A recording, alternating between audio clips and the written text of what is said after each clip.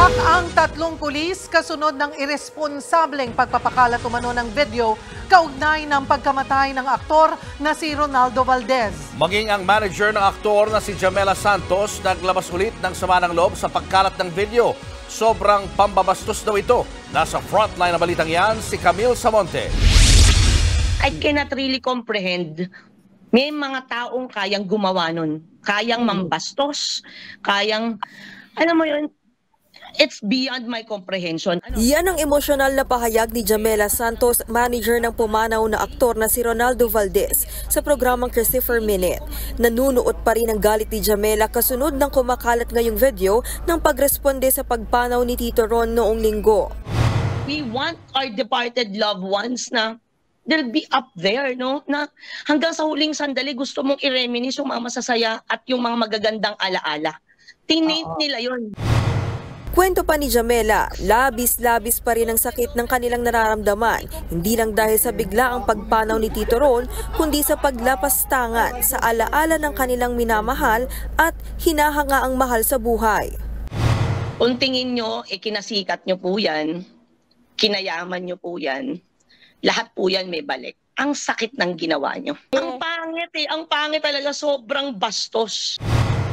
Sa ngayon, inuwi muna ng anak ni Tito Ron na si Melissa Gibbs ang kanyang labi. Samantala, kinumpirma ng PNP na may mga nasibak ng mga pulis ng Quezon City Police District kaugnay ng paglabas ng maselang video.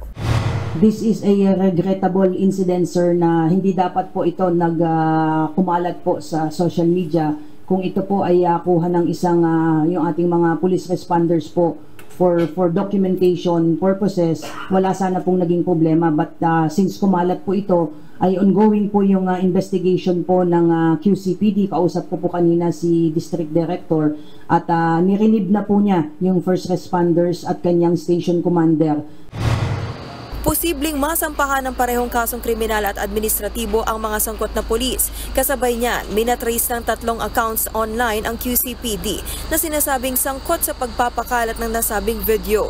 Ayon kay QCPD Director Police Brigadier General Red Maranan, mahaharap sa mga kasong kriminal ang mga may-ari ng mga natrace na account.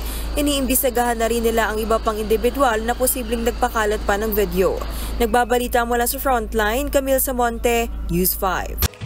Mga kapatid, Cheryl Cosim po. Iba na ang may alam at may pakialam sa panahon ngayon. Para sa tuloy-tuloy na balitaan sa Frontline, mag-follow at mag-subscribe sa social media pages ng News 5.